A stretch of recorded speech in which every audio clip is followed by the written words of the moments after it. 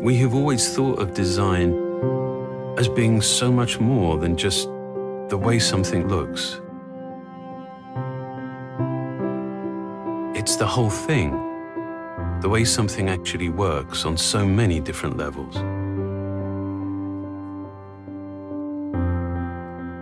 Ultimately, of course, design defines so much of our experience.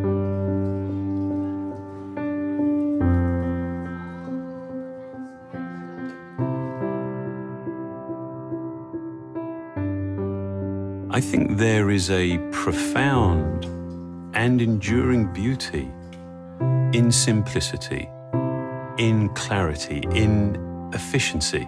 True simplicity is derived from so much more than just the absence of clutter and ornamentation. It's about bringing order to complexity.